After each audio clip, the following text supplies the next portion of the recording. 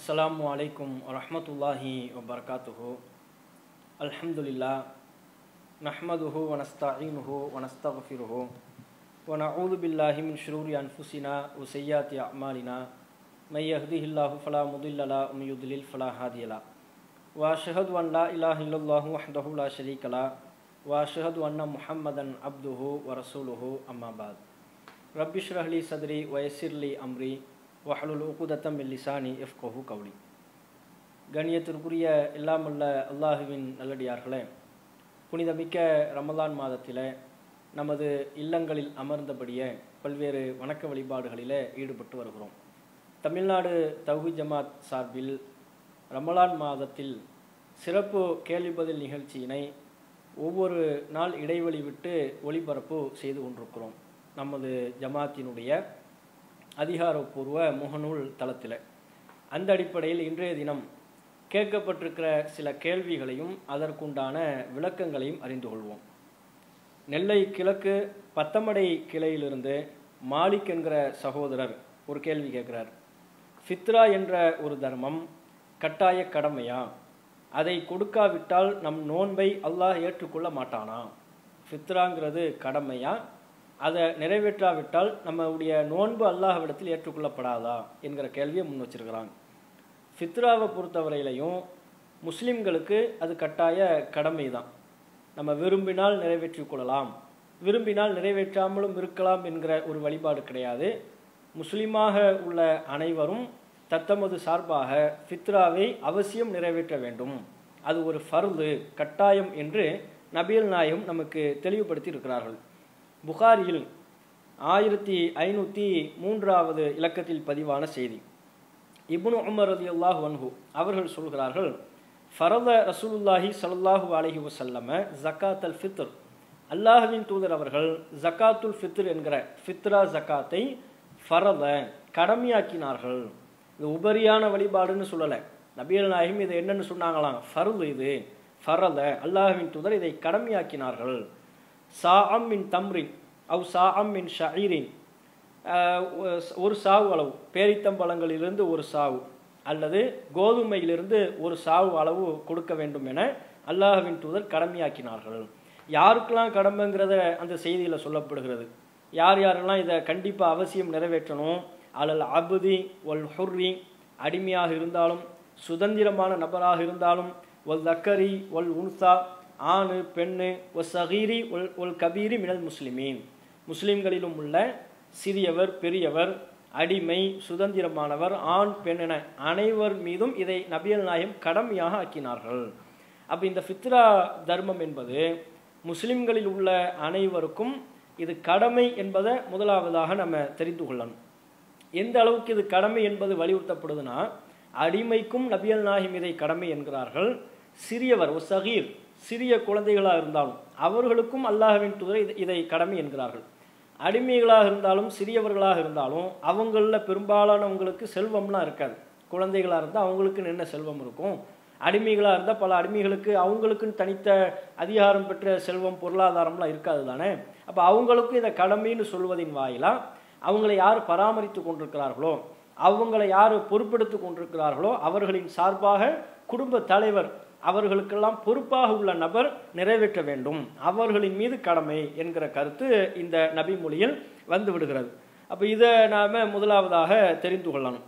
இப்போ இதுலேயே அவர் என்ன கேட்டார்னா இது கடமைங்கிறது இந்த நபி மொழியிலிருந்து நமக்கு தெரிந்து விட்டது. அதே வேளை இதை நாம் நிறைவேற்றாவிட்டால் நம்முடைய நோன்பு ஏற்றுக்கொள்ளப்படாதா அந்த பகுதியை பொறுத்தவரையிலையும் நபியல் நாயிம் அவர்கள் இந்த ஜக்காத்துல் ஃபித்ர் என்கிற ஃபித்ரா தர்மத்தினுடைய நோக்கத்தை நமக்கு தெளிவுபடுத்துகிறார்கள். எதனால் இந்த ஃபித்ராவை நம்ம நிறைவேற்றணும் என்கிற நோக்கத்தை ரசுல்லா நமக்கு சொல்கிறாங்க அபுதாவுத் இபுனு மாஜா போன்ற ஹதீஸ் நூல்களில் இடம்பெற்றிருக்கிறது இபுனு மாஜாவில் ஆயிரத்தி எட்நூற்றி இருபத்தி ஏழு.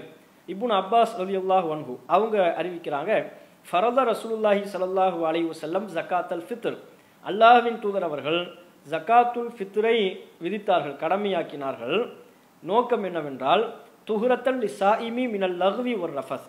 நோன்பாளியின் புறத்திலிருந்து ஏற்பட்ட வீணான காரியத்தை வீணான காரியத்திலிருந்து தூய்மைப்படுத்தும் விதமாகவும் துழமத்தல் நில் மசாக்கின். ஏழைகளுக்கு உணவளிக்கும் விதமாகவும் இதை கடமையாக்கினார்கள். இந்த ஃபித்ராவுக்கு ரெண்டு நோக்கம் சொல்லப்படுகிறது. ஒன்று ஏழைகளுக்குரிய உணவு. அந்த நாளில் ஏழைகள் கஷ்டப்படக்கூடாது. உணவின்றி சிரமப்படக்கூடாது. அவங்க பசியாறணும் என்கிற ஏழைகளினுடைய உணவுக்காகவும் இந்த ஃபித்ரா கடமையாக்கப்படுகிறது. அதை இன்னொரு காரணமாக நபியல் நாயகம் அவங்க சொல்வது துகுரத்தல் லிசாய் நோன்பாளிக்கு வந்து இதை பரிசுத்தப்படுத்தும். நோன்பாளிக்கு ஒரு பரிகாரமாக அமையும். எதிலிருந்து பரிகாரம்? அவர் நோன்பு வைத்து கொண்டிருந்த நிலையிலையும் அவரையும் அறிந்தோ அறியாமலோ நோன்பு வைத்த நிலையிலேயே அவரிடமிருந்து பல வீணான காரியங்கள் வெளிப்பட்டிருக்கும். பல் வீ வீணான நிகழ்வுகளில் அவர் ஈடுபட்டிருப்பார். அப்படியான அந்த வீணான சின்ன சின்ன பிழைகள் தவறுகள் எல்லாம் இந்த ஃபித்ராவின் மூலமாக அவருக்கு பரிகாரமாக வீணான காரியங்களிலிருந்து அவரை பரிசுத்தப்படுத்தக்கூடிய விதமாக இந்த ஃபித்ரா அமைந்துவிடும் என்று நபியல் நாயிம் ஸல்லல்லாஹு அலைஹி அவங்க நமக்கு சொல்லியிருக்கிறாங்க. அப்போ நோன்பின் போது நமக்கு ஏற்படக்கூடிய சிறு சில பிழைகள் வீணான காரியங்கள் அதுக்கு பரிகாரமாக நபியல் நாயிம் இதை சொல்கிறார்களே ஒழிய ஃபித்ரா நிறைவேற்றாவிட்டால் நோன்பு கடமையவே நீங்கள் நிறைவேற்றியதாக ஆக மாட்டீங்க. நோன்பு கடமையே உங்களுக்கு செல்லாதுன்னு ரசூல்லா நமக்கு சொல்லலை. இது கூட யாருக்கு தான் முடியும்னு உள்ள உள்ள ஒரு ஆளுக்கு தான் யார் ஃபித்ரா கொடுக்குற கெப்பாசிட்டியில் உள்ளவங்களாம் இருக்கிறாங்களோ ஒரு சாவுங்கிறது ஏறத்தாழ ரெண்டரை கிலோ. அப்போ பெருநாள் அன்னைக்கு ஒரு ரெண்டரை தாம் எதை உணவாக உட்கொள்கிறாரோ அதிலிருந்து ஒரு ரெண்டரை கிலோ அளவுக்கு கொடுக்கக்கூடிய கெப்பாசிட்டி யாருக்கு இருக்குதோ அவங்க கண்டிப்பாக கொடுக்கணும். அவங்களுக்கு அது ஃபரலு கொடுத்தாதான் நோன்பினுடைய அவருக்கு ஏற்பட்ட அந்த பிழைகள்லாம் பரிகாரமாக அது அமையும். கொடுக்கலன்னு வரும்போது அந்த பரிகாரத்தை அவர் செய்யலை. அவர் நோன்பில் ஏற்பட்ட அந்த குறைகள் ஏதாவது இருக்குமே ஆனால் அது குறைகளாகவே இருக்கும் அப்படிங்கிற அர்த்தம் தான் அதில் இருக்கிறது. ஒருவருக்கு முடியலை. பொருளாதாரம் அது கூட கெப்பாசிட்டி இல்லை வசதி வாய்ப்பு இல்லைன்னு சொன்னால் அவருக்கு எந்த விதமான பிரச்சனையும் இல்லை. ஏன்? இப்போ ஹஜ்ஜி ஒருத்தவங்களுக்கு கடமை இல்லைன்னா அவர் ஹஜ்ஜிக்கு போகாததுனால குற்றமா? நோன்பே ஒருவருக்கு வைக்க முடியலை. நோயை தீராத நோயாளியாக இருக்கிறாரு. அதனால் அவருக்கு வைக்க முடியலைன்னு சொன்னால் அவர் வைக்காமல் இருப்பது குற்றமாகுமா? அது மாதிரி தான். இப்போ ஜக்காத் இருக்குல்ல ஃபித்ரா அல்லாமல் நம்ம வளமையாக கொடுக்கக்கூடிய ஜக்காத்து. அந்த ஜக்காத்து ஒருவருக்கு வந்து கொடுக்குற தகுதியில் அடையலைன்னு சொன்னால் அவர் ஜக்காத்து கொடுக்காமல் இருப்பது எப்படி குற்றமாக ஆகாதோ? அதுபோல் இந்த ரமலான் மாதத்தினுடைய ஃபித்ரா என்கிற தர்மத்தை பொறுத்தவரையிலையும் பல ஏழை எளிய மக்கள் இருப்பார்கள். அவங்களுக்கு இதை கூட நிறைவேற்ற முடியாத நிலை இருக்கும். அந்த மாதிரியான மக்களை கண்டறிஞ்சு தானே நம்ம ஜமாத்துக்கு சார்பாக போய் விநியோகம் பண்ணுறோம் அப்போ அப்படியான ஏழைகள் நோன்பு வைக்க நோன்பு வைப்பவர்களாக இருக்கிறார்கள். ஆனால் அந்த ஃபித்ராவை நிறைவேற்றுவதற்கு அவங்களுக்கு எதுவுமே இல்லைன்னா அவர்களுக்கு அது பிரச்சனை இல்லை. அவர்களுக்கு அது எந்த குறைவையும் ஏற்படுத்தாது என்பதை நாம் இதிலிருந்து விளங்கிக் கொள்ளலாம். அடுத்ததாக தென்காசி மாவட்டத்திலிருந்து முகம்மது என்கிற சகோதரர் கேள்வி எழுப்புறார். குர்ஆன் அரபியில் ஓத தெரியவில்லை என்றால் தமிழில் அதன் அர்த்தங்களை ஓதினால் நன்மை உண்டா? தமிழ் அர்த்தத்தை படித்தோம்னா அதுக்கு நமக்கு நன்மை உண்டான்னு கேட்குறாங்க கண்டிப்பாக நன்மை உண்டு. குரானில் வந்து நம்ம அரபியில் ஓதுனாலும் நமக்கு நன்மை இருக்கு. தமிழில் விளக்கங்கள் படிக்கிறோம்ல அதை படிப்பதற்கும் நமக்கு நன்மை இருக்குது ஆனால் ரெண்டுக்கும் வித்தியாசம் உள்ளது. என்ன வித்தியாசம் உள்ளது? நாம் குரானை அது அருளப்பட்டிருக்கிற அரபி மொழியில் ஓதுகின்ற பொழுது ஒவ்வொரு எழுத்துக்கும் பத்து நன்மை நமக்கு உண்டு என நபியல் நாஹிம் அவங்க சொல்லியிருக்கிறாங்க. திருமிதியில் ரெண்டாயிரத்தி தொள்ளாயிரத்தி பத்தாவது இலக்கத்தில் பதிவான செய்தி. இபுனு மஸ்ஊத் ரலியல்லாஹு அன்ஹு அவர்கள் அறிவிக்கிறார்கள். நபியல் நாஹிம் அவங்க சொன்னாங்க என்ன சொன்னாங்க? மன் கர ஹர்ஃபம் மின் கிதாப் இல்லாஹி அல்லாஹுடைய வேதத்திலிருந்து யார் ஒரு எழுத்தை ஓதுவாரோ ஃபலஹு பிஹி ஹசனத்துன். அதன் மூலம் அவருக்கு ஒரு நன்மை உண்டு. ஒல் ஹசனத்து பி அஷ்ரி அம்சாலிஹா. ஒரு நன்மை என்பது அது போன்ற பத்து மடங்கை கொண்டது. லா கூலு அலிஃப்லாமிம் ஹர்ஃபுன். அலிஃப்லாமிம் என்பதை ஒரு எழுத்து என்று நான் சொல்ல மாட்டேன். ரசுல்லா இதை சொல்கிறாங்க அலிஃப்லாமிம்ங்கிறத ஒரு எழுத்துன்னு நான் சொல்லிட மாட்டேன். ஏனென்றால் ஒலாக்கின் அலிஃபுன் ஹர்ஃபுன் ஒலாமுன் ஹர்ஃபுன் ஓ மீமுன் ஹர்ஃபுன். அதில் உள்ள அலிஃப் ஒரு எழுத்து லாம் ஒரு எழுத்து மீம் ஒரு எழுத்து. அப்போ இந்த அலிஃப்லாமிம்னு சொல்லிட்டு அவருக்கு முப்பது நன்மை கிடைச்சிரும் என்பது தான் இந்த நபி மொழியினுடைய விளக்கம். அப்போ நபியல் நாஹிம் அவர்கள் குரானை அரபி மொழியில் ஓதுவதற்கென்று தனித்த நன்மை உண்டு சிறப்பான ஒரு நன்மை உண்டு என்று நமக்கு வழிகாட்டியிருக்கிறார்கள். அந்த நன்மை என்ன?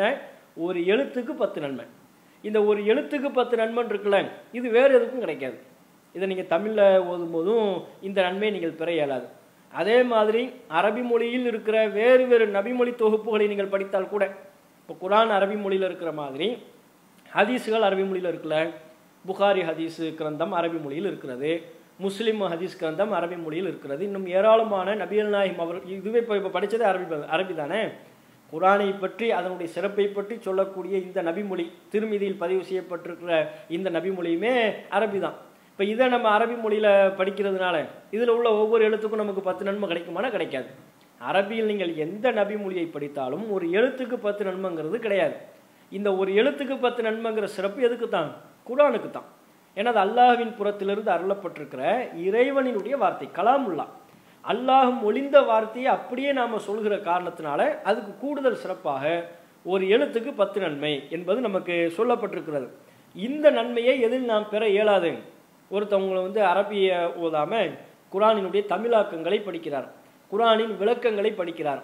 அப்படி படிக்கின்ற பொழுது அவருக்கு ஒரு எழுத்துக்கு பத்து நன்மைங்கிறது கிடைக்காது. அந்த கணக்கில் அவருக்கு நன்மை வராது. அப்போ வேறு என்ன நன்மை உண்டு? பொதுவாக குரான் என்பது அல்லாஹ் ரபுல் ஆலமினால் மனித சமுதாயத்திற்கு அருளப்பட்டிருக்கிற ஒரு வேதம் ஒரு வழிகாட்டி. அந்த வழிகாட்டியை வெறுமனே அரபிய படிப்பதற்காக மட்டுமே அல்லாஹ் நமக்கு அதை தரலை.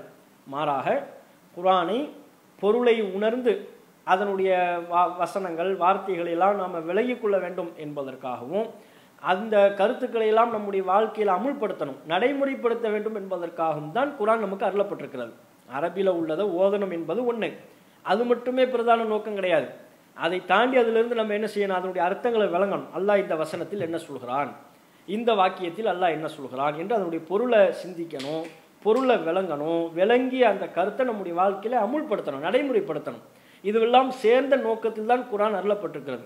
அல்லாஹ் ரப்புல் ஆலமீன் சாத் என்கிற அத்தியாயம் இருபத்தி ஒன்பதாவது வசனத்தில் சொல்கிறான் கிதாபுன். இது ஒரு வேதம்.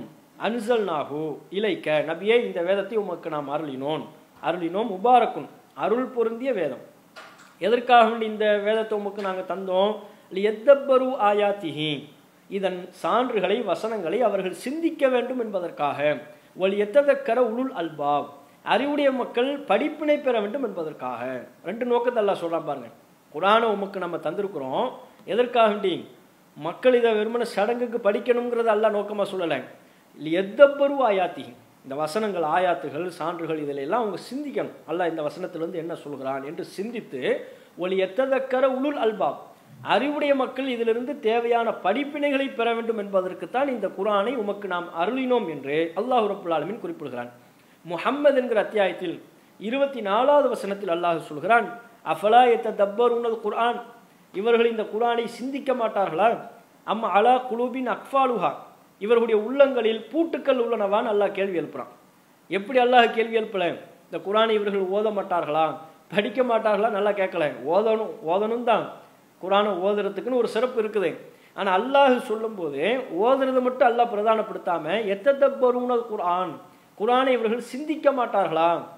ஓதுறதுனா அதுக்கு நிறைய ட டைம்லாம் இருக்காது ஓ கட கடக்கு நம்ம ஓதிட்டே போகலாம். குரானை நிதானமாக நிறுத்தி ஓதுறதா இருந்தால் கூட பெருமளவுக்கு நம்மால் ஓத முடியும். சிந்திக்கிறதுனா அதுக்கு டைம் எடுக்கும். ததப்பூருங்கிறது இருக்குல்ல சிந்திக்கிறது அதுக்கு ஒவ்வொரு வசனத்தையும் நிறுத்தி ஒரு வசனத்தை படித்து அருள் அதனுடைய பொருளை விளங்கி அல்லாஹ் இந்த வசனத்தில் என்ன சொல்கிறாங்கிறத விளங்கி அதை சிந்திச்சு அதை நம்ம வாழ்க்கையில் எப்படி நடைமுறைப்படுத்தணும் அதுக்கு மாத்தமாக நம்ம இடத்துல என்னென்ன இருக்குங்கிறதையெல்லாம் உள்ளடக்கியே தான் சிந்தித்தல்ங்கிறது. அதுக்கு டைம் எடுக்கும். அப்போ இதை அல்லாஹ் ரப்புல் ஆலமீன் வலியுறுத்துறான். அதனால தான் அல்லாஹ் கேட்குறான் இவங்க அந்த குரானை சிந்திக்க மாட்டாங்களா? அம்மா அலா குழுபின் அக்ஃபாலுஹா. இவர்களுடைய உள்ளங்களில் பூட்டுக்கள் உள்ளனவா? சிந்தனையில் உனக்கு என்ன இருக்குது? ஓதுறதுங்கிறது நாவு மட்டும் செய்யக்கூடிய வேலை. அல்லாஹ் உள்ளத்தை ஜாயின் பண்ணி சொல்கிறான் கல்பை அல்லா ஜாயின் பண்ணி சொல்கிறான்னு சொன்னால் சிந்தனையை சொல்கிறான்னா எதுக்காக வேண்டி? நீ உள்ள நாவினால் ஓதுனா மட்டும் பத்தாது. உள்ளத்தால் நீ சிந்திக்கணும். உன்னுடைய அறிவால் இந்த வசனங்களில் இருந்து அல்லாஹ் சொல்ல வருகிற கருத்தை சிந்திக்க வேண்டும் விளங்க வேண்டும். அதுவும் நமக்கு வலியுறுத்தப்படுகிறது என்பதை இந்த வசனத்தில் நாம் தெரிந்து கொள்கிறோம். அதுபோல அல் ஃபுர்கான் என்கிற அத்தியாயம் முப்பதாவது வசனத்தில் இறை தூதர் மறுமை நாளில் சொல்வதாக அல்லாஹ் ரப்புல் ஆலமீன் எடுத்து சொல்கிறான். நபியல் நாயகம் அவங்க சொல்லுவாங்க என்ன? ஒக்காலர் ரசூல். யா ரப்பி இறைவா இன்ன கௌமி இத்தகது ஹாதல் குர்ஆன மஹஜூரா.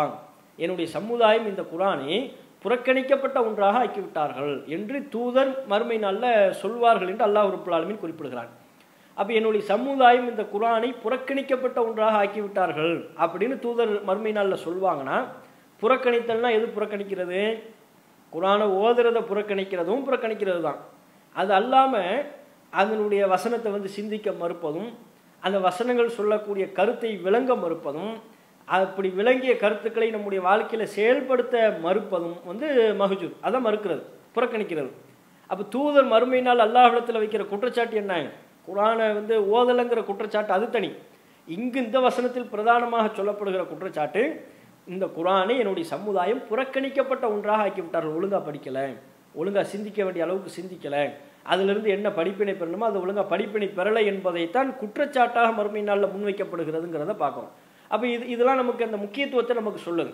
குரானை வெறுமனை ஓதுறது மட்டும் நமக்கு சொல்லாமல் அதில் உள்ள கருத்துக்களை எல்லாம் விளங்கி படிக்க வேண்டும் என்பதை நமக்கு வலியுறுத்தக்கூடியவையாக உள்ளது. சஹி முஸ்லிமில் ஒரு நபிமொழி பதிவு செய்யப்பட்டிருக்கிறது. அபு ஹுரைரா ரதியுல்லாஹ் வன்ஹு அவங்க அறிவிக்கிறாங்க.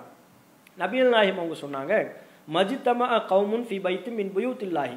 ஒரு சில பேர் அல்லாஹுடைய பள்ளிவாசல் அமர்ந்து கொண்டு எத்லூன கிதாபுல்லாஹி. அல்லாஹுடைய வேதத்தை ஓதியும் வயத்ததார சுனகு அதை தங்களுக்கு மத்தியில் படித்தும் இருப்பார்களேயானால் வயத்ததார சுனகு பைனகும் தங்களுக்கு மத்தியில் அது குறித்த விளக்கங்களை படித்து கொண்டும் இருப்பார்களேயானால் இல்லா நசலத் அலைஹுமு சக்கீனா. சக்கீனத் என்கிற மன அமைதி அவர்களுக்கு இறங்காமல் இருப்பதில்லை. சக்கீனத் அவர்களுக்கு இறங்கும். வ ஹஷியத்துஹுமுர் ரஹ்மா அல்லாஹ்வுடைய ரஹமத் அவர்களை சூழ்ந்து கொள்ளும். வ ஹஃபத்துஹுமுல் மலாய்கா வானவர்களும் அவர்களை சூழ்ந்து கொள்வார்கள். வ தக்கருஹுமுல்லாஹு ஃபீமன் ஐந்தஹு அல்லாஹ் ரபுல் ஆலமீன் அவர்களை பற்றி தன்னிடத்தில் உள்ளவர்களிடத்தில் அல்லாஹ் தன்னிடத்தில் உள்ளவங்க வானவர்கள். மாணவர்களத்தில் இந்த அடியார்களை பற்றி அல்லாஹ் நினைவு கூறுவான். என்னுடைய அடியார்களை பாருங்கன்னு சொல்லி எப்படி ஓதுகிறார்கள் எப்படி இதை படிக்கிறாங்கன்னு பாருங்கன்னு தன்னுடைய அடியார்கள் குறித்து அல்லாஹ் மறுமை இந்த மலக்குமார்கள்ட்ட நினைவு நினைவூட்டுவானாம். இது முஸ்லீமில் இடம்பெறுகிறது. இந்த நபிமொழியில் பள்ளிவாசலில் இருந்து செய்தல்ங்கிறது ஒன்று சொல்லப்பட்டாலும் கூடுதலாக இதில் என்ன சொல்லப்படுகிறது? குரானை இரண்டு சொல்லப்படுது. எத்துலூன கிதாபுல்லாஹி. அல்லாவுடைய வேதத்தை ஓதுவார்கள். ஓ எத்ததார சூனகு பயணம் அதை தங்களுக்கு மத்தியில் தர்சு தர்சுனா என்ன? வகுப்பு. விலக்கிக் கொள்வார்கள். அது குறித்த பேச்சுக்களை பேசுவார்கள். குரானை தாங்களும் ஓதுவார்கள். அதை பற்றி மக்களுக்கு விளக்குறது. அல்ல அந்த வசனத்தில் என்ன சொல்லியிருக்கிறான்னு பார்த்தியா இப்படி நம்ம செயல்படுறோமா? நம்ம நடைமுறைப்படுத்துகிறோமான்னு பயான் பண்ணுறாங்கள்ல அதுதான் அது. அப்போ இப்படி குரான் வசனங்களை மையப்படுத்தி அந்த விளக்கங்களை சொல்வதும் எப்படியான காரியம் என்று நமக்கு சொல்லப்படுகிறது. நன்மையான தங்களுக்கு மத்தியில் குரானுடைய விளக்கத்தை எல்லாம் பேசு பேசுகிறாங்கன்னு சொன்னால் அது ஒரு நன்மையான ஒரு காரியம். அது பள்ளிவாசலில் வைத்து செய்யும்போது கூடுதல் சிறப்பு. அல்லாவுடைய ரஹமத்து கிடைக்குது சக்கீனத்து இறங்குகிறது மலக்குமார்கள் சூழ்ந்து கொள்கிறார்கள். இப்போ மலக்குமார்களிடத்தில் அல்லாஹ் அவங்கள பற்றி பெருமையாக பேசுகிறான்னு பல சிறப்பு அங்கே கிடைத்து விடுகிறது. இப்போ பள்ளிவாசலுக்கு போகக்கூடிய சூழல் இல்லாமல் இருக்கின்ற பொழுது நம்ம வீடுகளில் வைத்து பேசும்போது வீடுகளில் வச்சு நம்ம இது மாதிரி செய்கிறோம். நீங்கள் அது குரான் வசனங்களுடைய பொருளை படிக்கிறோம் அர்த்தங்களை வ விளங்குறோம் அது குறித்து மக்களுக்கு நம்ம குடும்பத்தார்களுக்கெல்லாம் விளக்கம் கொடுக்குறோம்னா அதுவும் நமக்கு நன்மையான அல்லாஹுடைய அருளை பெற்றுத்தரக்கூடிய ஒரு காரியம். அப்படியான நம்முடைய நேரத்தை நன்மையான காரியத்தில் செலவிட்டோம் என்கிற நன்மையும் அல்லாவிடத்தில் நம்மை நெருக்கி வைக்கக்கூடிய ஒரு வணக்க வழிபாட்டை செய்தோம் என்கிற நன்மையும் கண்டிப்பாக குரான் தமிழாக்கங்களை படிக்கின்ற பொழுது உண்டு. ஆனால் அரபி மொழியில் ஓதுகின்ற பொழுது ஒரு எழுத்துக்கு பத்து நன்மை என்று நபிகள் நாயகம் சொன்னார்களே அந்த நன்மையை அது அரபியில் ஓதுகின்ற பொழுது மட்டும்தான் பெற முடியுமே தவிர அது கூட குரானை ஓதும் போது தான் பெற முடியுமே தவிர ஹதீஸுக்கு கூட அது கிடையாது. தமிழாக்கங்களும் அந்த நன்மையை நம்ம பெற முடியாது என்பதை இந்த கேள்விக்குரிய பதிலாக சொல்லிக் கொள்கிறோம். அடுத்ததாக இந்த லைலத்துல் கதிர் இரவை பற்றி சில சகோதரர்கள் கேள்வி கேட்டிருக்கிறாங்க. அவங்க அந்த கேள்வி கேட்ட ஒரு ரெண்டு மூணு கேள்விகள் அது தொடர்பாக வந்திருக்குது. அந்த கேள்விகளை மொத்தமாக சொல்லிட்டு நம்ம அது குறித்த விளக்கங்களை பார்ப்போம். என்ன மெயினாக என்ன கேட்குறாங்கன்னா கடைநல்லூரில் இருந்து திவான் ஒளி அவர் கேட்குறாரு லைலத்துல் கதிர் இரவு எப்போது? அந்த வணக்கம் எப்போது தொழுதால் அந்த இரவு நன்மையை அடைய முடியும்? இரவு நேரத்தில் ஒன்பது மணி பத்து மணிக்கு அல்லது அல்லது பன்னிரெண்டு ஒரு மணிக்கு தொழுதால் அந்த நன்மையா? லைலத்துல் கதிர் இரவு எப்போது? அதை வந்து நம்ம எப்போ தொழுதா அந்த நன்மையை அடைய முடியும். இரவு நேரத்தில் பன்னெண்டு மணி ஒரு மணி அந்த நேரத்தில் தொழுகணுமா? ஒம்பது பத்து இந்த நேரத்தில் தொழுதா அந்த நன்மை கிடைக்குமாங்கிறது அதில் உள்ளது. அடுத்ததாக அது அந்த லைலத்துல் கதிர் பற்றிய தென்காசி மாவட்டம் சங்கரன் கோவில் ஷம்சுத்தீன். அவங்க கேட்குறாங்க என்ன கேட்குறாங்கன்னா லைலத்துல் கதிர் இரவில் ஓதும் இந்த துவாவை எப்போது ஓத வேண்டும்? தொழுகை முடிந்ததும் ஓத வேண்டுமா? அல்லது சஜிதாவில் ஓத வேண்டுமா? அந்த துவாவை எப்போ ஓதணும்? அந்த துவாவையும் குறிப்பிட்டிருக்கிறாங்க. அந்த துவாவை எப்போ ஓதணும்? தொழுகை முடிஞ்ச உடனே ஓ- ஓதணுமா? அல்லது தொழுகையில் இருக்கும்போது சஜிதாவில் இருக்கிறோம்ல அந்த சஜிதாவிலே ஓதிக்கலாமாங்கிறது இவங்களுடைய கேள்வி.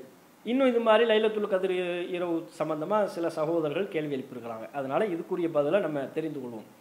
முதலாவதாக இதில் நம்ம தெரிந்து கொள்ள வேண்டியது லைலத்துல் கதிர் இரவு என்பது அது எப்போது?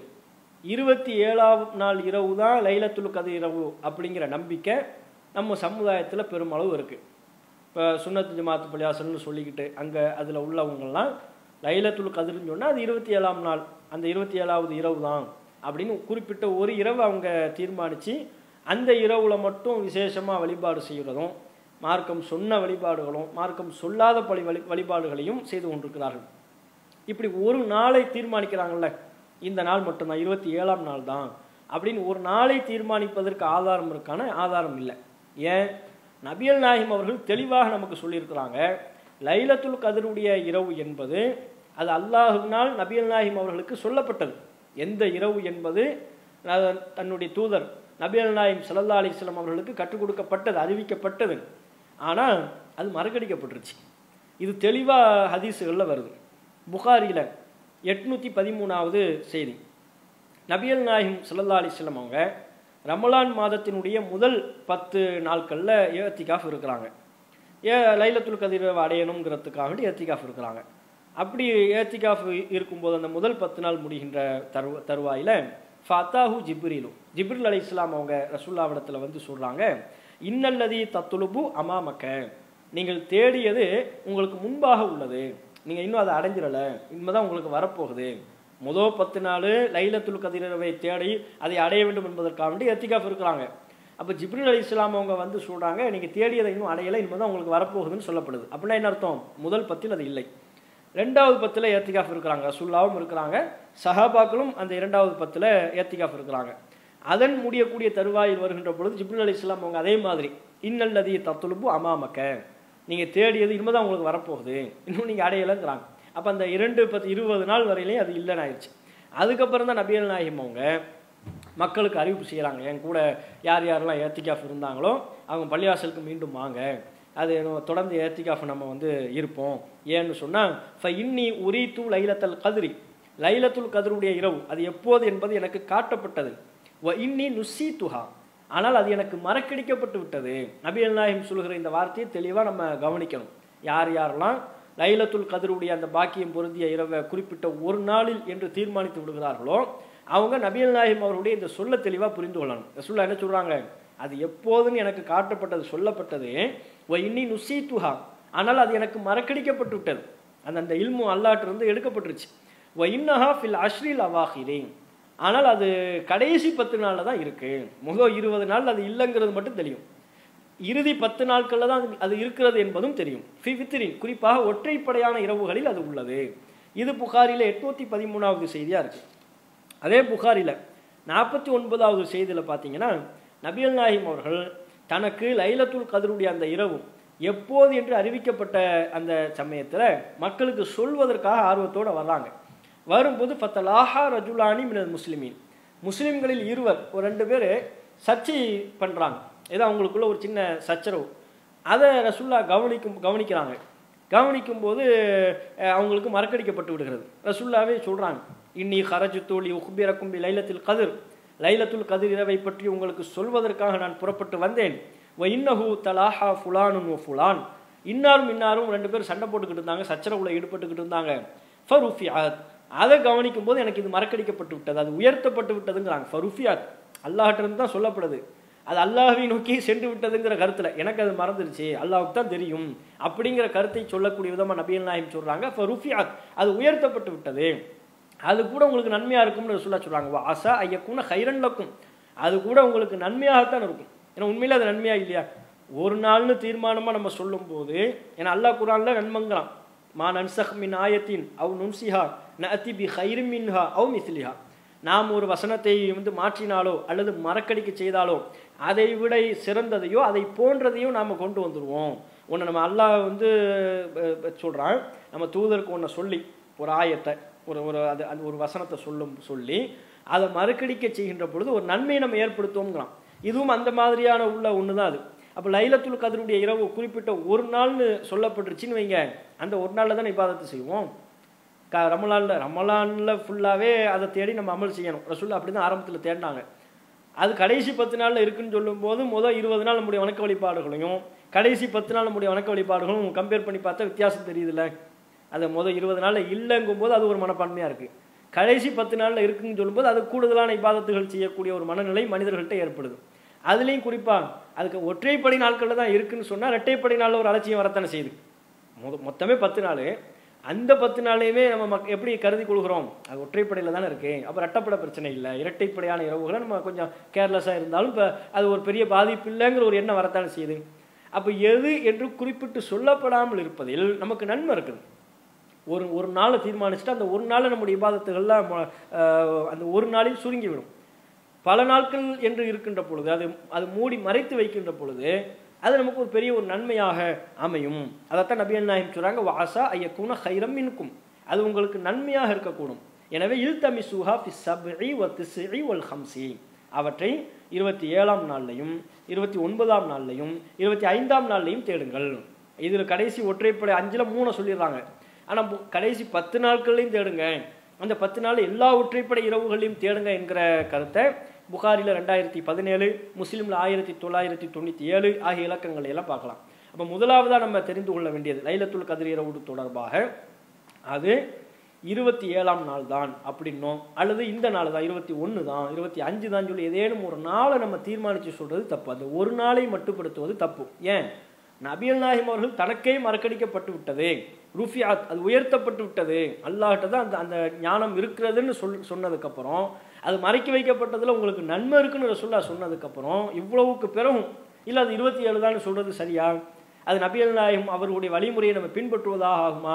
அது அதுக்கு மாற்றமாக போயிடும் அதனால் ஒரு நாளில் தான் இருக்கிறது என்கிற அந்த நம் நம்முடைய நம்பிக்கை தவறான நம்பிக்கை நபியின் நபியல் நாயகம் காட்டி தந்த வழிமுறைக்கு மாற்றமான அந்த நம்பிக்கையை நம்ம மாற்றணும் அது க ரமலான் மாதத்தினுடைய கடைசி பத்து நாட்களில் உள்ளது. ஒற்றைப்படை இரவுகள் அனைத்து ஒற்றைப்படை இரவுகளையும் இருக்கிறது. இருபத்தி ஒன்றா இருக்கலாம் இருபத்தி இப்போ நம்ம இருக்கிறது இருபத்தி ஒன்றாம் நாள் இரவுல தான் நம்ம இருக்கிறோம். இருபத்தி ஒன்றாவும் இருக்கலாம். இருபத்தி மூணு இருபத்தி ஐந்து இருபத்தி ஏழு இருபத்தி ஒம்பது. இந்த ஐந்து ஒற்றைப்படை இரவுகளில் ஏதேனும் ஒரு நாளாக இருக்கலாம் என்பதுதான் அதை நம்ம தெரிந்து கொள்ள வேண்டிய அது நமக்கு மறைக்கப்பட்டிருக்கிறது அப்படிங்கிறதுல நம்ம தெ- விஷயம். அதில் இந்த லைலத்துல் கதருடைய இரவு இந்த இரவில் நம்ம செய்ய வேண்டிய அமல்கள் குறித்து இது எவ்வளோ சிறப்பு வாய்ந்தது என்பது குறித்து சில தகவல்கள்லாம் நமக்கு சொல்லப்பட்டிருக்கிறது. இப்போ உதாரணமாக இந்த இரவை பற்றி குரான் சொல்லும்போது இன்னா அன்சல்நாஹு ஃபி லைலத்தில் கதிர். குரானை நாம் லைலத்துல் கதிருடைய இரவில் அருளினோம். குரான் அருளப்பட்ட இரவு இதுதான் லைலத்துல் கதிர் என்கிற அந்த பாக்கியம் பொருந்திய இரவுல தான் அருளப்படுகிறது. முழு குரானும் ஒட்டுமொத்தமாக அருளப்படலை. ஏன்னா நமக்கு நல்லாவே தெரியும் குரான் என்பது சிறிது சிறிதாக அருளப்பட்ட இருபத்தி மூணு வருட காலமாக நபியல் நாயமுக்கு அருளப்பட்ட ஒன்று அப்போ குரான் அருளப்பட்டதனுடைய துவக்கத்தை பற்றி அது பேசுறது நம்ம விளங்கிக்கலாம். நபி ரசூல்லாவுக்கு குரான் வசனம் துவக்கமாக அருளப்படுதில்ல இக்ரா பிஸ்மி ரப்பி கல்லதி ஹலக் அப்படிங்கிற வசனம் அருளப்படுதில்ல அந்த அந்த குரான் வசனங்கள் அருளப்படுவதனுடைய துவக்கம் லைலத்துல் கதருடைய இரவில் அதனுடைய துவக்கம் வந்து இருக்கும் என்பதை நம்ம புரிஞ்சுக்கலாம். அப்போ குரான் இந்த நம்ம லைலத்துல் கதருடைய இரவில் தான் அருளப்பட்டது. ஒமா அதுராக்க மா லைலத்துல் கதிர்? லைலத்துல் கதிர் அதனுடைய அந்த இரவு என்றால் என்ன? லைலத்துல் கதிரி ஹைரும் மின் அல்ஃபி ஷஹர் லைலத்துல் கதிருடைய இரவு என்பது அந்த பாக்கியம் பொருந்திய இரவு என்பது ஆயிரம் மாதங்களை விட சிறப்புக்குரியது. எவ்வளோ பெரிய ஒரு சிறப்பு? சாதாரண ஒரு சிறப்பு இல்லை. ஆயிரம் மாதங்கள் நின்று வணங்குவதும் ஒன்று தான் இந்த ஒரு இரவில் நின்று வணங்குவதும் ஒன்று தான் ஆயிரம் மாதங்களை நாம் ஒரு நன்மை செய்வதும் இந்த ஒரு இரவில் நமக்கு நன்மை செய்வதும் ஒன்றுன்னு சொல்லக்கூடிய அளவிற்கு ஆயிரம் மாதங்களுக்கு நிகரான நன்மையை பெற்றுத்தரக்கூடிய ஒன்று தான் இந்த லைலத்துல் கதிர் என்கிற பாக்கியம் பொருந்திய இரவு. அதனால தான் அந்த இரவை அடைவதற்கு நபியல் நாயம் அவ்வளோ முயற்சி மேற்கொண்டார்கள். அதோடு அந்த வசனத்தில் அந்த அத்தியாயத்தில் சொல்லப்படுகிறது தனசலுல் மலாயிக்கத்து ஒரு ரூஹு ஃபிஹாபி இது நீ ரப்பிஹிம் மின் குள்ளி அமர். மலக்குமார்களும் ஒரு ரூஹு ஜிப்ரிலும் ஜிப்ரில் அலி இஸ்லாம் அவங்களுக்கு ரூஹுங்கிற பெயர் குரானில் சொல்லப்பட்டிருக்கு. மலக்குமார்களும் ஜிப்ரில் அலி இஸ்லாம் அவர்களும் அந்த இரவில் தம்முடைய இறைவனின் உத்தரவோடு க அனுமதியோடு ஒவ்வொரு காரியத்தை கொண்டும் இறங்குகிறார்கள். அந்த இரவில் தான் மலக்குமார்கள்லாம் வர அனு அனுப்பி வைக்கப்படுறாங்க. பல கட்டளைகளை கொண்டு எல்லா மலக்குமார்களும் இறங்குகிறார்கள். ஜிப்ரில் அலி இஸ்லாம் அவர்களும் வருகிறார்கள். அப்படின்னா அந்த இரவுக்கு ஒரு பெரிய அளவு ஒரு முக்கியத்துவம் இருக்கிறது அப்படின்னு சொல்லப்படுது. சலாமுன் ஹிய ஹத்தா மத்துல் அலில் ஃபஜர். அந்த இரவு ஃபஜ்ர் உதயம் வரையிலையும் சுபூடைய நேரம் இருக்கல சுபூடைய நேரம் வரையிலையும் அது இருக்கிறது. இது அல் கதிர் என்கிற அத்தியாயத்தில் அந்த அத்தியாயம் முழுக்க ஒன்றாவது வசனத்துலேருந்து நீங்கள் பார்த்தீங்கன்னா உங்களுக்கு தெரியும். அப்போ இந்த குரான் அருளப்பட்ட இரவாக இருக்கிறது ஆயிரம் மாதங்களை விட சிறப்புமிக்க இரவாக இருக்கிறது. மலக்குமார்களும் ஜிபில் அலி இஸ்லாம் அவர்களும் அல்லாஹின் உத்தரவை கொண்டு இறங்குகிற ஒரு இரவாக இருக்கிறது என்பதை இந்த அத்தியாயத்திலிருந்து நாம் தெரிந்து கொள்கிறோம். இந்த இரவில் நாம் செய்ய வேண்டிய வழிபாடாக நபியல் நாயிம் அவங்க இரவு தொழுகையில் ஈடுபடுறத சிறப்பித்து சொல்கிறாங்க மையக்கும் லைலத்தல் கதிரி ஈமானவ் வஹ்திசாபன். நம்பிக்கையோடும் நன்மை எதிர்பார்த்தும் யார் லைலத்துல் கதருடைய இரவில் நின்று தொழுவாரோ வணக்க வழிபாட்டில் ஈடுபடுவாரோ ஒஃபிரலகு மாத்த கத்தம மின் தம்பிகி அவருடைய முந்தைய பாவங்கள் எல்லாம் மன்னிக்கப்பட்டு விடுகிறது. புகாரில் முப்பத்தி அஞ்சாவது இலக்கத்தில் பதிவான செய்தி. அப்போ லைலத்துல் கதருடைய அந்த இரவில் நம்ம செய்ய வேண்டிய வழிபாடாக நமக்கு சொல்வது தொழுகை. யக்கும் நின்று வணங்குவதுனா என்ன? கியாமுல்லைன்னு சொல்கிறோம்ல அந்த தொழுகைக்கு தொழுகையில் பெருமளவு நிற்கிறதுங்கிறதுனால அது ஒரு சிறப்புக்குரிய ஒரு வழிபாடாக இருக்கிறதுனால அந்த தொழுகைக்கு கியாம் யக்கும் அப்படிங்கிற அந்த வார்த்தைகள்லாம் பயன்படுத்தப்படுது. அப்போ நின்று வணங்குவதை மார்க்கம் நமக்கு வலியுறுத்தி சொல்லுது. அப்படி இந்த லைலத்துல் கதருடைய இரவில் நம்ம நின்று வணங்கும் போது நம்முடைய முந்தைய பாவங்கள்லாம் மன்னிக்கப்படுகிறது என்று நபியல் நாயம் சல்லா அலிஸ்லாம் அவங்க சொல்கிறாங்க அந்த வணக்க வழிபாடுகளில் தான் நம்ம ஈடுபடணும். இப்படி ரசுல்லா நமக்கு ஆர்வமூட்டிய நபியல் நாயிம் அவர்கள் நமக்கு கற்றுத்தருகிற வணக்க வழிபாட்டில் ஈடுபடணும். ரசுல்லாவும் ஈடுபட்டாங்க என்பத செய்தியை பார்க்குறோம். புகாரில் ரெண்டாயிரத்தி இருபத்தி நாலாவது இலக்கத்தில் பதிவான செய்தி. இதா தஹலல் அஷ்ரு. ரமலான் மாதத்தினுடைய இறுதி பத்து இறுதி பத்து நாட்கள் வந்துவிட்டால் ஷத்த மிசரஹு அல்லாஹுவின் தூதர் இல்லறத்திலிருந்து ஒதுங்கிக் கொள்வார்கள். மனைவிமார்கள்ட்ட கூடுறதுலேருந்து விலகி வ அஹ்யா லைலஹு. அந்த இரவை உயிர்ப்பிப்பார்கள் வ ஐக்கல்லா அஹ்லஹு. தம்முடைய குடும்பத்தாரையும் எழுப்புவார்கள். இது புகாரில் ரெண்டாயிரத்தி இருபத்தி நாலாவது செய்தி. அப்போ நபியல் நாயிம் அவர்கள் நமக்கு வழிபாடு செய்யணும்னு சொல்லிட்டு தாம்பை படுத்துக்கலை ரசுல்லாவும் அந்த மாதிரி இரவு முழுக்க நின்று வணங்கி வழிபடுவது பல்வேறு வணக்க வழிபாடுகளில் ஈடுபடுவது இப்படி அந்த இரவை உயிர்ப்பிப்பாங்க. அதே மாதிரி குடும்பத்தாரையும் எழுப்பி நீங்கள் வழிபாடு செய்யுங்கன்னு குடும்பத்தாருக்கும் சொல்லுவாங்க. இப்படியான ரசுல்லா நமக்கு சொல்லி தந்த வணக்க வழிபாடுகளில் ஈடுபடணும். இரவு தொழுகையில் ஈடுபடுறது குரான் ஓதுறது குரானுடைய விளக்கங்களை படிக்கிறது விக்கிர்கள் தஸ்பீகள் பிரார்த்தனைகள் இது எல்லாமே நம்ம இந்த இரவில் செய்யக்கூடிய வழிபாடுகள் தான். சில நம்ம முஸ்லீம்களில் சில பேர் என்ன செய்கிறாங்கன்னா வரம்பு மீறி போகக்கூடிய அளவில் மார்க்கம் சொல்லாத வணக்க வழிபாட்டையெல்லாம் இந்த லைல இருபத்தி ஏழாம் நாள் இரவு பார்த்தீங்கன்னு வைங்க தஸ்பீ தொழுகைங்கிற பேரில் தொழுவாங்க இப்படி நீண்ட நேரம் நிற்க வேண்டும் என்று மார்க்கம் சொல்லியிருக்கிறதுனால அதை தவறாக விலகி கொண்டு ரசுல்லா கற்றுத்தராத இவர்களாக ஒரு தொழுகையினுடைய ஒரு வடிவத்தை ஒன்று உருவாக்கி தஸ்பி தொழுகைன்னு அதுக்கு பேரை வச்சு அந்த அந்த பேரில் அவங்க செய்யக்கூடிய செய்திகளை எல்லாம் நம்ம பார்க்குறோம். அதுக்கெல்லாம் மார்க்கத்தில் இடம் இல்லை. அதெல்லாம் பொய்யான பலவீனமான செய்திகள் ரசுல்லா பேரில் இருக்குன்னு அதை வச்சு நம்ம அமல் செய்யலாமா? நபியல் நாயிம் சல்லா அலிஸ்லாம் அவங்க சொல்லிட்டாங்க மண் அமில அமலன் லைசா அலைஹி அம்ருனா ஃபஹூரத்துன் நாம் உத்தரவிடாத ஒரு அமலை யார் செய்வாரோ அது அல்லாஹ்விடத்தில் ஏற்கப்படாது நிராகரிக்கப்பட்டு விடும் நம்ம என்ன அமல் செய்கிறோம் என்பதை கவனிக்கணும். இதை ரசுல்லா சொல்லி தந்த அமலா?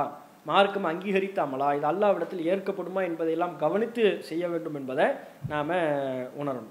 அப்படி இந்த தொழுகையில் ஈடுபடுகின்ற பொழுது அந்த சகோதரர் வந்து கேட்டார்ல எந்த நேரத்தில் வந்து நம்ம ஈடுபடணும்?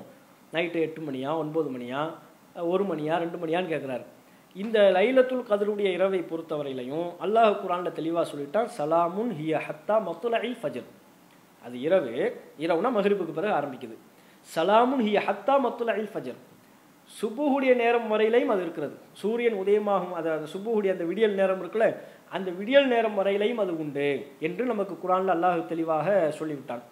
அப்போ ஃபஜ்ரு வைகரை உத வர்ற வரையிலையும் சுப்புடைய நேரம் வரையிலையும் அது இருக்கிறது அப்படின்னு சொன்னால் நீங்கள் அந்த இரவுல எப்போது வேண்டுமானாலும் நம்முடைய வணக்க வழிபாடுகளை அமைத்துக் கொள்ளலாம். இஷ் இரவு தொழுகை என்பது இஷா தொழுகைக்கு பிறகு தான் நம்ம தொழுவோம். இஷா தொழுகை அதற்கு பிறகு சுண்ண விரும்பினால் சுண்ணத் தொழுகை அதற்கு பிறகு தான் இரவு தொழுகை என்பது.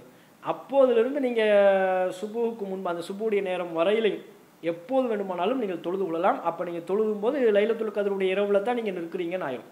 லை அது அது ஒற்றைப்படை இரவாக இருக்கின்ற பொழுது இருபத்தி ஒன்றாம் நாள் இரவு இருபத்தி மூணு இல்லது இருபத்தி அஞ்சு இப்படி ஏதேனும் ஒரு ஒற்றைப்படை இரவாக இருக்கின்ற பொழுது லைலத்துல் கதருடைய இரவை நாடி நாம் தொழுகின்ற பொழுது அது அந்த நன்மையை பெறுவதற்கு உண்டான ஒரு வாய்ப்பாக இருக்கும். அது இந்த நேரம் தான் எட்டு டு பத்துக்குள்ளே நீங்கள் முடிச்சாகணும் அப்படின்னுங்கிறதும் கிடையாது. அதே மாதிரி எட்டு டு பத்து தொழுதாலும் சரி வராது. நீங்கள் எப்போ தான் தொழுகணும்? கடைசி ஒன்று டு ரெண்டில் தான் தொழுகணும் ரெண்டு டு மூணில் தான் தொழுகணுங்கிறதும் இல்லை. ஆனால் பின்னிரவு நேரத்தில் தொழுவது நமக்கு சிறப்பு. நபியல் நாயம் சல்லா அலி செல்லம் அவங்க இரவு தொழுகையை தொழுவதற்கு உண்டான நேரமாக இஷா தொழுகைக்கு பிறகிலிருந்தே நமக்கு தொழுவதற்கு நபியல் நாயகம் அவங்க வழிகாட்டியிருந்தாலும் தானும் தொழுது நமக்கு நடைமுறைப்படுத்தி காட்டியிருந்தாலும் கூட பின்னிரவு நேரத்தில் தொழுவது சிறப்பான ஒன்று ஏன்னா பின்னிரவு நேரத்துக்குன்னு கூடுதல் சிறப்புகள்லாம் இருக்குல்ல. அல்லாஹ் வந்து அவனுடைய அருள் இறங்குகிறது. அல்லாஹ் கேட்குறான் என்கிட்ட கேட்பவர்கள் யாரும் உண்டா? என்னோட என்னை வந்து பிரார்த்திப்பவர் யாரும் உண்டா? தேவைகள் எதுவும் கேட்குறீங்களா? ஆனால் அல்லாஹ் கேட்குறான்னு நமக்கு நபியல் நாயகம் அவங்க சொல்கிறாங்கல்ல அந்த அடிப்படையில் பின்னிரவு நேரத்தில் தொழுவது சிறப்பு. அதெல்லாமல் நீங்கள் ஒன்பது மணிக்கு தொழுதாலும் அதுவும் அந்த நாளில் நீங்கள் செய்யக்கூடிய ஒரு விவாதத்தை செஞ்சீங்கன்னு தான் ஆகும். இரவு பத்து மணிக்கு நீங்கள் தொழுதாலும் தப்பில்லை பின்னிரவு நேரத்தில் தொழுதாலும் சிறப்பு தான். இதை நம்ம விளங்கி கொள்ளணும். அதே மாதிரி துவாவை பற்றி அவங்க கேட்டிருந்தாங்க. ஆயிஷா ரலியல்லா ஒன்ஹா அவங்க அறிவிக்கிறாங்க அஹமதில் மற்றும் திருமிதியில் பதிவு செய்யப்பட்டிருக்கிற செய்தி. திருமிதியில் மூவாயிரத்தி ஐநூற்றி பதிமூணு அஹ்மதுல இருபத்தி ஐயாயிரத்தி நானூற்றி இருபத்தி மூணு.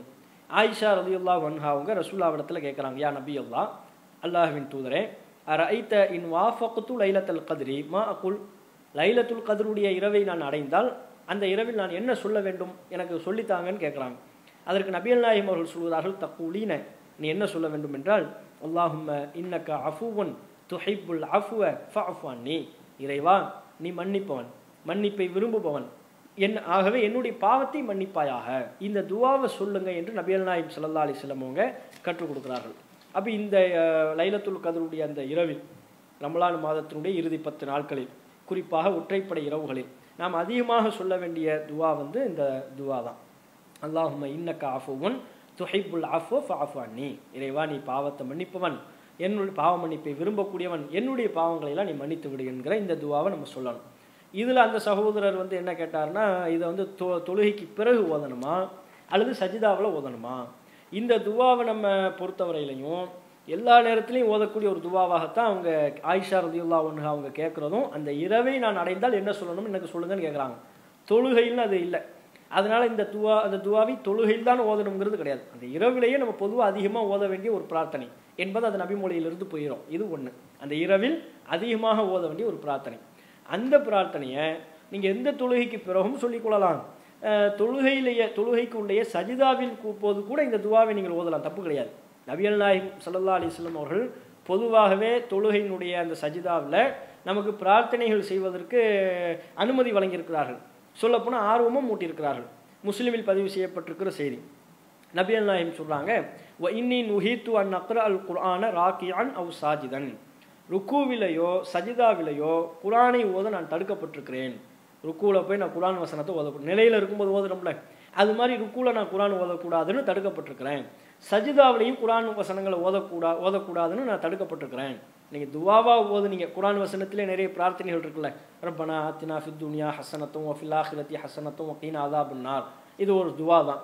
அதே வேளை இது குரான் வசனத்திலே இருக்குது துவாங்கிற கணக்கில் எந்தெந்த குரான் வசனங்கள் இருக்கிறதோ அவற்றை துவாவுடைய அர்த்தத்தில் ஓதும்போது அது தப்பு கிடையாது. அது தொழு நிலையில் இருக்கும்போது எப்படி குரான் வசனங்களை ஓதுறோமோ அது மாதிரி எதில் ஓதக்கூடாதுன்னு தடுக்கப்பட்டிருக்குதான். ருக்குவிலையும் சஜிதாவிலையும் குரான் வசனங்களை ஓதக்கூடாதுன்னு நான் தடுக்கப்பட்டிருக்கிறேன்.